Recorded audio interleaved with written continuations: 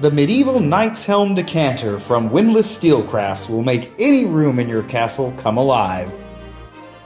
Revitalized from a classic design, this all metal helmet will look stunning atop your bar, bookshelf, or desk.